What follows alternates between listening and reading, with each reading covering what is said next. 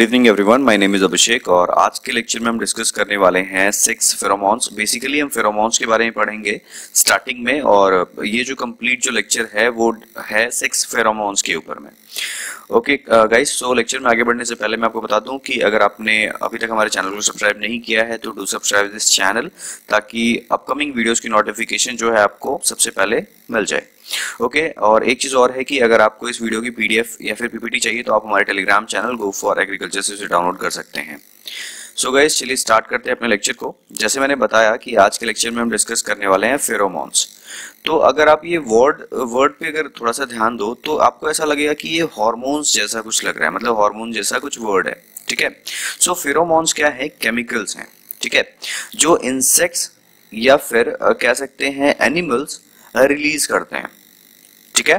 अब ये रिलीज़ करने का जो रीजन है, वो बहुत सारा हो सकता है, ठीक है? बहुत सारा मतलब कई कारणों से ये जो फेरोमोन्स हैं जो केमिकल है, वो रिलीज़ किया जाता है। बेसिकली आप जो सामने अभी ये जो दो इमेज देख रहे हो तो साइड में आप देख रहे हो बॉडी के बाहर कुछ केमिकल पड़ा हुआ है। यहाँ पे क्या लिखा है? ब्रूड बॉर्न क्वीन फेरोमोन्स ठीक है? यहाँ पे आप देख रहे हो, यहाँ पे भी क्या है? मौत के अराउंड आपको कुछ केमिकल्स दिखाए गए हैं। यही है फेरोमोन्स ठीक है? सो फेरोमोन्स की कहानी स्टार्ट करने से पहले मैं थोड़ा सा आपको बेसिक बताना चाहूँगा कि फेरोमोन्स हैं क्या बेसिकली ठीक है? तो फेरोमोन्स क्या है? एक कैटेगरी है जिसको हम कहते हैं सीमियो केमिकल्स ठीक है? तो semiochemicals are the chemical substances that mediate communication between organisms so organisms या फिर इंसेक्ट्स के बीच में कम्युनिकेशन के लिए एक केमिकल का कैटेगरी है जिसको हम कहते हैं सीमियो केमिकल्स जो इनके बीच में कम्युनिकेशन को स्टैब्लिश करता है। तो सीमियो केमिकल्स जो है उनको दो कैटेगरीज में रखा गया है। First one is the pheromones जो intra specific semi semio chemicals हैं। ठीक है? इंट्रा स्पेसिफिक कहने का मतलब है कि वो uh, अपने स्पीसीज या फिर एक लिमिटेड चीज़ों में यानी अपने टाइप के इंसेक्ट्स में ही कम्युनिकेशन कर सकते हैं। और दूसरा होता है एलिलोकेमिक्स जो इंटर स्पेसिफिक है। दूसरे स्पीसीज तक भी कम्युनिकेशन किया जा सकता है इनसे। सो so, इसका मतलब हमने क्या सीखा? जो सीमियो केमिकल्स हैं वो दो टाइप के हो गए फेरोमोन्स एंड एलिलोकेमिक्स ठीक है? आई होप जो अभी तक का जो बेसिक पार्ट है वो आपको समझ में आया होगा। सो so, हम बात करते हैं कंप्लीटली फेरोमोन्स के ऊपर। ठीक है? सो so, ये देखिए। One minute okay so pheromones क्या है? Pheromones are chemicals secreted into the external environment by an animal which elicit elicit elicit कहने का मतलब है कॉजेस ठीक है? तो फेरोमोन्स क्या है? केमिकल है जो कि सिक्रीट किया जाता है एक्सटर्नल इन्वायरमेंट में एनिमल्स द्वारा, जो कि स्पेसिफिक रिएक्शन कॉज करता है, जो भी इंडिविजुअल उसको रिसीव करता है. मतलब फेरोमोन्स जो रिसीव करता है, उनमें स्पेसिफिक रिएक्शन कॉज करता है. लेकिन within the same species अगर आप ध्यान दो तो कहा ये सेम स्पीसीज के, के अंदर ही होगा? मतलब फेरोमोन्स का इफ़ेक्ट सो so, फेरोमोन्स क्या है? वोलाटाइल नेचर के होते हैं. They aid communication among the insects ठीक है? मतलब ये कम्युनिकेशन में हम हर तरह का कम्युनिकेशन हम पढ़ेंगे भी ठीक है? सो हर तरीके के कम्युनिकेशन को स्टैब्लिश करने में ये फेरोमोन्स हेल्प करते हैं. So pheromones are exocrine in origin ठीक है? एक्सोक्राइन कहने का मतलब क्या हुआ? Secreted outside the body hence they were earlier called ecto hormones so pheromones को हम एक्टो हार्मोन्स भी कहते हैं, ठीक है? ये ऐसा हार्मोन है, या फिर ऐसा केमिकल है जो बॉडी के बाहर सिक्रिएट किया जाता है। तो फ़र्स्ट फेरोमोन जो है, वो सिक्स अट्रैक्टेंट था, जो कि सिल्क वॉर्म मॉथ्स में देखा गया था। मैं इसकी छोटी सी कहानी बताऊँगा आपको अपकमिंग स्लाइड्स में। ठीक है? सिल्क वॉर्म मॉथ में देखा गया था सबसे पहले। फेरोमोन वो भी सेक्स को मतलब अदर जो पार्टनर है, उसको अट्रैक्ट करने के लिए सिक्रिएट हुआ था। Based on the responses elicit कहने का मतलब जो रिस्पॉन्सेज कॉज करता है फेरोमोन उस बेसिस पे फेरोमोन्स को दो ग्रुप्स में बांटा गया है। First group is the primer pheromones ठीक है? And the second group is the releaser pheromones ठीक है? आई होप जो अभी तक का पार्ट है, आपको समझ में आया होगा। नेक्स्ट अब हम बात करेंगे कि जो प्राइमर फेरोमोन्स क्या है और रिलीजर जो फेरोमोन है, वो क्या है? सो प्राइमर फेरोमोन क्या है? They trigger off chain of physiological changes ये ट्रिगर करते हैं स्टार्ट करते हैं फ़िज़िकल चेंजेस के कुछ रिएक्शंस को इन दी रेसिपियंट जो इसको रिसीव करता है, यानी लेट सपोज़ अगर फीमेल ने रिलीज़ किया है तो मेल उसको रिसीव कर रहा है इन केस तो रेसिपियंट कौन है? मेल है। तो उनके बॉडी में क्या होगा? कुछ फिजियोलॉजिकल चेंजेस आएँगी, लेकिन उनके बिहेवियर में इमीडिएट चेंज नहीं आएगा, अगर वो प्राइमर फिरोमोन्स है। ठीक है? Without any immediate change in the behaviour ठीक है? बेसिकली इनका जो एक्शन है ये फेरोमोन्स गस्टेटरी होते हैं। कहने का मतलब है they act through gustatory taste के थ्रू वो एक्ट करते हैं। मतलब ये टेस्ट के थ्रू ही जैसे है ना कि कोई फेरोमोन का स्मेल के थ्रू किया जा सकता है फेरोमोन जो रिसीव कर रहा है वो स्मेल के थ्रू और कोई टेस्ट के थ्रू इसको रिसीव करता है ठीक है? So, अगर हम बात करें एग्ज़ाम्पल में तो कास्ट डिटर्मिनेशन और रिप्रोडक्शन जो है सोशल इंसेक्ट्स में जैसे आप एंट्स जानते हो बीज जानते हो वैस्प हो गया टर्माइट्स हो गया ये प्राइमर फेरोमोन से ही आपस में मेडिटेट करते हैं। लाइक कास्ट डिटर्मिनेशन अपने हम जानते हैं ना कि अब जो बीज हैं, वो आपस में भी वर्कर बीज होती हैं तो ये आपस में इनका कम्युनिकेशन जो है, वो प्राइमर फेरोमोन्स के थ्रू ही होता है। So these pheromones are not much practical value in IPM क्योंकि आप खुद सोचो ना, जो सोशल इंसेक्ट्स हैं, उनको हम आईपीएम में थोड़ी कंट्रोल करते हैं ज़्यादा। वो ज़्यादा क्रॉप को हार्म नहीं करती लाइक एंड्स बीज ठीक है बेसिकली ये तो पॉलिनेशन में हेल्प करते हैं। सो so, इनका आईपीएम में जो रोल है वो बहुत कम है। किनका प्राइमर फेरोमोन्स का। जो रिलीजर फेरोमोन है they produces immediate change in behaviour of the recipient वो इमीडिएट चेंज करता है बिहेवियर रेसिपिएंट का। रिलीजर फेरोमोन्स जो है में फर्दर उनको डिवाइड किया गया है उनकी बायोलॉजिकल एक्टिविटी यानी किस चीज़ में हेल्प कर रहे हैं रिलीजर फेरोमोन उस बेसिस पे इनको कुछ ग्रुप्स में डिवाइड किया गया है। First is the sex pheromone second is aggregation pheromones मतलब इकट्ठा होने के लिए एक मैसेज देना है या फिर सेक्स यानी कॉपुलेशन के लिए फेरोमोन्स है। अलार्म किसी चीज़ के लिए देना है लाइक कोई आपका एनिमी आ रहा है अलार्म के लिए ठीक है? ट्रायल फेरोमोन्स तो कहने का मतलब है कि ये फेरोमोन्स की कैटेगरी है रिलीजर फेरोमोन्स की कि क्या बायोलॉजिकल एक्टिविटी है उस बेसिस पे उस फेरोमोन का नाम दिया गया है। सो गाइज़ आई होप अभी तक का जो पार्ट है आपको समझ में आया होगा। सो so, हमने क्या सीखा? रिलीजर फेरोमोन्स जो है इनका वर्क कैसे है? जैसे हमने वो गस्टेटरी देखा था टेस्ट के थ्रू तो जो रिलीजर फेरोमोन होता है, ये एक्ट करता है ऑल्फैक्शन से। स्मेल ऑल्फैक्टरी स्मेल की वजह से इनका एक्शन होता है। ठीक है? और ये ऐसा है कि ये स्मेल से डायरेक्ट पहुँचते हैं सेंट्रल नर्वस सिस्टम और जो रिसिपियंट होता है, जो रिसीव करता है, वो अपने बिहेवियर को तुरंत मॉडिफाई करता है क्योंकि ब्रेन ही तो हर चीज़ को कंट्रोल करता है। ठीक है? So they are successfully use in pest management programmes सो इनको हम आईपीएम में यूज़ करते हैं। आई होप जो आपको बेसिक है फेरोमोन्स का, किस तरीके से आया है, ये समझ में आ गया होगा। अब हम डिस्कस करने वाले हैं सिक्स फेरोमोन्स के बारे में। फेरोमोन्स में भी स्पेसिफिक जो हमने फ़र्स्ट डिस्कस किया सिक्स फेरोमोन्स इस रिलीजर फेरोमोन्स के अंदर में हम उनके ऊपर कवर करेंगे और ये लेक्चर भी कंप्लीटली सिक्स फेरोमोन्स के ऊपर भी, ऊपर ही है। ठीक है? सो सेक्स फेरोमोन्स क्या है? They are released by one sex only एक ही सेक्स या तो मेल या तो फीमेल इसको रिलीज़ करता है। और दूसरे के बिहेवियर को ट्रिगर करने के लिए चीज़ें मतलब दूसरा, यानी दूसरा जो सेक्स है, यानी अगर मेल ने रिलीज़ किया तो फीमेल को ट्रिगर करने के लिए और फीमेल ने रिलीज़ किया तो मेल को ट्रिगर करने के लिए। मतलब उनके बिहेवियर को ट्रिगर करने के लिए फेरोमोन्स का रिलीज़ होता है, ठीक है? ताकि वो मैटिंग को फैसिलिटेट कर पाए मतलब मैटिंग कर पाए। दे मैटिंग मतलब सेक्स uh, कह सकते हैं कॉपुलेशन कर पाए ठीक है?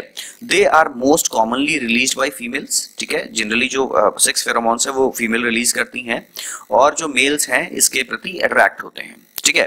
सो so, यहाँ पे एग्ज़ाम्पल की तरह समझाया गया है कि अगर डेढ़ सौ स्पीसीज ऑफ़ इंसेक्ट्स हैं ठीक है स्पीसीज हैं उनकी तो उसमें से देखा गया है कि अप्रॉक्स सिर्फ़ सिर्फ़ फिफ्टी स्पीसीज मेल स्पीसीज हैं जो फेरोमोन्स रिलीज़ कर रही हैं। मतलब डेढ़ सौ में से सौ हैं फीमेल्स और पचास जो है मेल स्पीसीज हैं जो कि फेरोमोन्स को रिलीज़ करती हैं। ठीक है? सो so, ये पार्ट आपको आई होप क्लियर हो गया होगा। नेक्स्ट एक वर्ड है अगर आप यहाँ पे पढ़ो क्या क्या लिखा है हमने? एफ्रो डायसेक्स ठीक है? ये क्या है? Are the substance that aid in the courtship of the insects after the two six sexes are brought together? कहने का मतलब है कि ये जो सब्सटेंस है एफ्रोडाइसेक्स ये क्या है? जब इंसेक्ट जो पास पास आ जाता है सो कह सकते हैं कि उत्तेजना के लिए, ठीक है, ये जो मेल है, इस चीज़ को रिलीज़ करता है, ठीक है? सो आप यहाँ पे देखो लास्ट सेंटेंस में क्या लिखा है कि in many cases male produces aphrodisiacs ठीक है? मतलब ये है कि जब मेल आ गई तो मेल और फीमेल जब पास आ गए हैं so to start the copulation ठीक है? दूसरे को अट्रैक्ट करने के लिए या फिर जिसको कहते हैं उत्तेजित करने के लिए एफ्रोडाइसिक्स जो है वो मेल बेसिकली रिलीज़ करता है। आई होप जो आपको सेक्स फेरोमोन्स का ये वाला पार्ट जो है वो समझ में आया होगा। नेक्स्ट हम बात करेंगे कुछ प्रॉपर्टीज़ के बारे में कि अगर फीमेल सेक्स फेरोमोन है और मेल सेक्स फेरोमोन है तो उनका रेंज क्या है रोल क्या है एक्शन किस तरीके से होता है इन सब के बारे में। सो so, आप देखो रेंज में पहले लिखा है जो लेफ़्ट हैंड पे है that is the female sex pheromone और राइट साइड पे मेल है। सो so, अगर लेफ़्ट साइड पे देखोगे तो acts at a long range यानी अगर फीमेल ने फेरोमोन रिलीज़ किया तो लॉन्ग रेंज का होता है attract males from long distance लेकिन अगर मेल ने रिलीज़ किया है तो act for a short distance ठीक है? रोल ऑफ़ अदर स्टिमुलाई अगर हम बात करें तो इसका लेस रोल है ठीक है? और अगर मेल सेक्स फेरोमोन है तो विजुअल एंड ऑडिटरी स्टिमुलाई है. मतलब स्टिमुलाई मतलब आ, आ, कह सकते हैं जो स्टिमुलस मतलब हो गया कि रिसीवर किस तरीके से उसको रिसीव कर रहा है। ठीक है? सो so, अगर हम एक्शन बात करें तो एक्शन एलिसिटी मतलब किस तरीके का एक्शन होता है? Tracks and excites male to copulate अगर फीमेल सेक्स फेरोमोन है तो मेल को अट्रैक्ट करता है एक्साइट करता है मेल को ताकि वो कॉपुलेट करे। ठीक है? लेकिन अगर मेल सेक्स फेरोमोन है lowers female resistance to mating ठीक है? अगर फीमेल नहीं रेडी है मेटिंग के लिए तो उन वो जो रेजिस्टेंस दिखा रही है उसको रेजिस्टेंस को कम करने के लिए मेल सेक्स फेरोमोन्स जो है हेल्प करते हैं। ठीक है? इंपॉर्टेंस इन आईपीएम क्या है? अगर हम बात करें तो फीमेल सेक्स हॉर्मोन्स का ही यूज़ किया जाता है मोस्ट इंपॉर्टेंट है। और मेल सेक्स फेरोमोन्स का यूज़ आईपीएम में बहुत कम किया जाता है। ठीक है? सो अब मान लीजिए इस केस में सिर्फ़ मेल ही रिलीज़ करेगा वहाँ पे तो हमें मेल सेक्स फेरोमोन्स को ही यूज़ करना पड़ेगा। सो so, वो डिपेंड करता है लेकिन मोस्टली हम फीमेल सेक्स फेरोमोन्स को यूज़ करते हैं। आई होप जो ये वाला पार्ट है वो क्लियर है। अब हम बात करेंगे कौन कौन से इंसेक्ट ऑर्डर हैं जो कि सेक्स फेरोमोन्स को रिलीज़ करते हैं। सो आप देख सकते हो, मैंने यहाँ पे मेंशन किया है lepidoptera orthoptera dictyoptera diptera coleoptera hymenoptera hemiptera hemiptera neuroptera and mecoptera ठीक है? ये कुछ ऑर्डर्स हैं इंपॉर्टेंट ऑर्डर्स हैं जो कि सेक्स फेरोमोन्स को रिलीज़ करती हैं आइदर मेल और फीमेल अगर हम बात करें सिर्फ़ प्रॉपरली एक लैपिडोप्टेरा में तो ये जो सेक्स फेरोमोन है ना सिस्टम ये बहुत हाईली डेवलप्ड है हाईली इवॉल्व है। लैपिडोप्टेरा में, ठीक है? सो अगर हम बात करें फेरोमोन जो प्रोड्यूस हो रहा है, वो कौन से ग्लैंड से प्रोड्यूस हो रहा है तो हम बात करते हैं इन Lepidoptera they are produced by eversible glands ठीक है? ये कहाँ प्रेजेंट होते हैं? At the tip of the abdomen of the females ठीक है मतलब फीमेल्स ही हैं लैप्टोप्टेरा में, जो कि इवर्सिबल ग्लैंड से ग्लैंड से फेरोमोन्स को रिलीज़ करती हैं। दी पोस्चर फेरोमोन्स रिलीज़ करने पहले फीमेल जो है एक बॉडी पोस्चर चेंज करती हैं। उस पोस्चर को हम क्या कहते हैं? कॉलिंग पोजीशन यानी इसको, इसका नाम जो है कॉलिंग पोजीशन है। बेसिकली मेल को कॉल करने के लिए होता है ये पोजीशन तो मेल अगर आसपास भी है बिफोर रिलीजिंग फेरोमोन मेल देख के भी समझ सकता है। So this position is called calling position ठीक है? सो एफ्रोडायसिक ग्लैंड जो है, जो अभी हमने जस्ट पिछले वाले स्लाइड पे डिस्कस किया था एफ्रोडायसिक्स तो एफ्रोडायसिक्स जो है एफ्रोडायसिक ग्लैंड से मेल सिक्रीट करता है, जो कि प्रेजेंट होता है एज सेंट ब्रसेस ठीक है? लाइक कह सकते हैं हेयर पेंसिल्स की तरह at the tip of abdomen ठीक है? एब्डोमेन के टिप पे प्रेजेंट होता है. Example male butterfly of Danaus ठीक है? डेनेस स्पीसीज ओके मैंने डेनेसिस कह दिया डेनेस स्पीसीज में ठीक है? सो so, ये है वहाँ पे ग्लैंड कहाँ प्रेजेंट है? At the tip of the abdomen okay so अगर नेक्स्ट अगर हम पॉइंट बात करते हैं तो यहाँ पे एक वर्ड लिखा है एंड्राकोनिया ठीक है? ये क्या है? आर ग्लैंडुलर स्केल्स ठीक है? स्केल्स हैं कहाँ प्रेजेंट होते हैं? Wings of the male moths producing aphrodisiacs ठीक है? ये ग्लैंड है जो कि स्केल्स में प्रेजेंट होते हैं विंग्स के स्केल्स में जो कि मेल मॉथ में एफ्रोडायसिक्स को प्रोड्यूस करने में हेल्प करते हैं. आई होप जो प्रोडक्शन है किस ग्लैंड से हो रहा है क्लियर है। अब बात करते हैं रिसेप्शन रिसीव जो करेगा। सो फेरोमोन रिसेप्शन में अगर हम बात करें तो female sex pheromones are usually receive by olfactory and sensilla on male antenna कहने का मतलब है कि और फैक्ट्री यानी थ्रू स्मेल इस चीज़ को रिसीव किया जाता है मेल द्वारा, अगर फीमेल ने रिलीज़ किया है तो। ठीक है, in pheromones perceiving insect the antenna of male moths are larger जिनको रिसीव करना, उनका एंटीना थोड़ा सा बड़ा भी होना चाहिए ताकि जो जो केमिकल सब्सटेंस उड़ के रिलीज़ होकर जा रहा है इन्वायरमेंट में, उसको प्रॉपरली कैच कर पाए। And greatly branch than female moths to accommodate numerous olfactory factory sensilla कहने का मतलब है अल्टीमेटली इस सेंटेंस का ये मतलब हुआ कि मेल मॉथ्स में जो एंटीना है, वो बड़ा होता है ब्रांच होता है, ताकि वो न्यूमरस छोटे छोटे सेंसिलिया बना पाए। उससे वो क्या होगा, उससे उसको बेनिफिट मिलेगा। वो मोस्ट ऑफ़ द केमिकल जो रिलीज़ है, उनको, यानी फेरोमोन्स जो रिलीज़ रिलीज़ किए गए हैं फीमेल्स द्वारा, उसको रिसीव कर पाएगा। आई होप ये वाला पार्ट भी क्लियर हो गया होगा। Next is the chemical nature of the sex pheromone ठीक है जो बेसिकली आप जानते हो, हर चीज़ में केमिस्ट्री है, और यहाँ पे भी जो फेरोमोन्स हैं, इनको हम कहते हैं क्या? केमिकल्स सो इनका केमिकल नेचर है अगर हम बात करें तो सेक्स फेरोमोन का in general pheromones have large number of carbon atoms 10 से 20 कार्बन एटम होते हैं, और इनका हाई मॉलिकुलर वेट होता है लाइक 8 180 टू 300 डॉल्टन्स ठीक है? लेकिन फेरोमोन्स वोलेटाइल नेचर के हैं तो इनका वेट भी बहुत ज़्यादा नहीं होना चाहिए वेरी हाई नहीं होना चाहिए, क्योंकि अगर बहुत ज़्यादा हो गया तो they cannot be carried out by wind so ये विंड से कैरी नहीं किया जा पाएगा, ठीक है? तो यहाँ पे आप अगर देखो ये वाला पार्ट अगर क्लियर है तो आप नेक्स्ट एक देखो मैंने वॉलेट लाइन बनाया है इसमें लिखा है ब्यूटेन डट ठीक है? आप इसको पढ़ सकते हो। और उनके कोवर्कर्स ने 1959, uh, 1959 में आइसोलेट किया 12 milligram of pheromone from the abdomen of half a million virgin females of the silkworm क्या होता? हाफ़ मिलियन वन मिलियन में कितना होता? टेन लाख यानी अगर five lakh virgin female silkworm थी उनके एब्डोमेन से उन्होंने 12 मिलीग्राम्स फेरोमोन को निकाला। और उसको नाम दे दिया उस टाइम पे बॉम्बी कॉल ठीक है? तो आपसे अगर ऑप्शन में पूछा जाए बॉम्बी कॉल क्या है? Bombykol is the pheromone of the silkworm ठीक है? अगर इसका केमिकल नेम आपको इतना इंपॉर्टेंट तो है नहीं केमिकल नेम फिर भी आप देख लो केमिकल नेम क्या होता है इसका? Ten twelve hexadecadienol basically enol आप जान रहे हो एल्कोहल के लिए यूज़ करते हैं तो it is a primary alcohol so ये एक थोड़ा सा एक्स्ट्रा पार्ट था आप चाहो तो इसको याद कर सकते हो।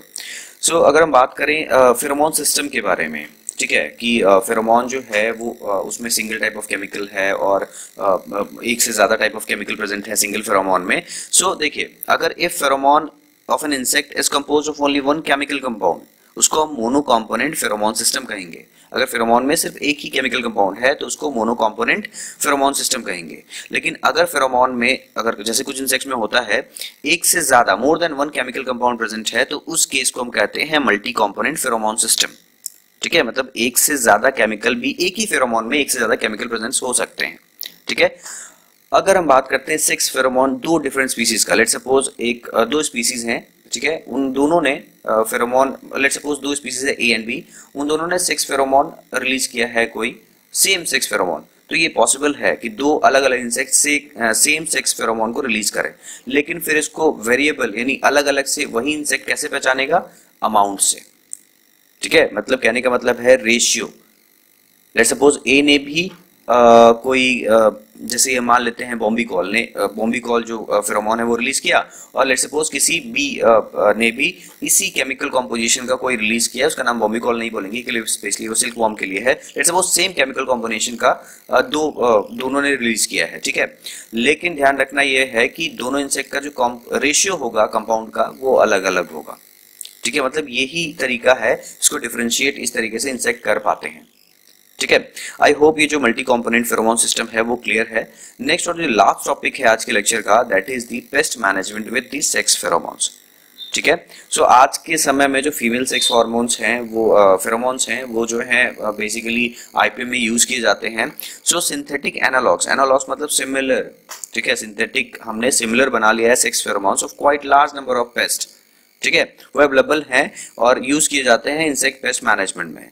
सेक्स फेरोमोन्स बेसिकली अगर हम बात करें तो तीन डिफरेंट वे में यूज़ किया जाता है। पहला पेस्ट मॉनिटरिंग के लिए दूसरा मास ट्रैपिंग के लिए एंड थर्ड अगर हम बात करें तो कंफ्यूजन क्रिएट करने के लिए। इस मेथड को हम कहते हैं डिकॉय मेथड तो आप याद रखना थोड़ा सा ये डिकॉय मेथड क्या है?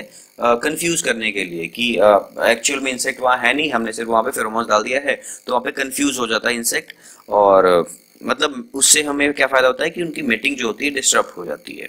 लेट सपोज़ मान लीजिए कि लेफ़्ट हैंड पे मेल इंसेक्ट अगर बीच में है लेफ़्ट हैंड पे अगर फीमेल है तो उससे ज़्यादा हमने क्या कर दिया राइट साइड में हमने क्या कर दिया फेरोमोन जो है वो रिलीज़ कर दिया। तो मेल कंफ्यूज हो जाएगा लेफ़्ट और राइट में मे बी वो हो सकता है कि राइट साइड में आ जाए। ठीक है मे लेफ़्ट साइड में भी जा सकता है उसने भी रिलीज़ किया फीमेल ने भी। लेकिन एक चांस है ना कि राइट साइड में आ, आ जा सकता है। ठीक है? तो उस कंडीशन में क्या होगा? वो कंफ्यूज होगा और वहाँ पे मेटिंग जो है डिस्टर्ब हो जाएगी। तो बेसिकली अगर हम बात करें तो मॉनिटरिंग में क्या करते हैं? बेसिकली सैम्पलिंग एंड डिटेक्शन किया जाता है और मास ट्रैपिंग में हम क्या करते हैं? उनको अट्रैक्ट करके किल किया जाता है। एक बार बुला लिया गया और वहाँ पर मार दिया गया किसी भी तरीके से।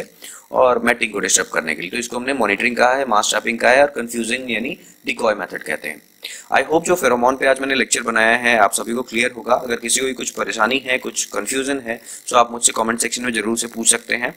सो so गाइज़ इस लेक्चर को मैं एंड करता हूँ। उससे पहले मैं आपको एक चीज़ और बोलना चाहूँगा कि अगर अभी तक आपने हमारे चैनल को सब्सक्राइब नहीं किया है और ये वीडियो आपको अच्छी लगी है, आपने कुछ सीखा है तो हमारे चैनल को ज़रूर से सब्सक्राइब करें।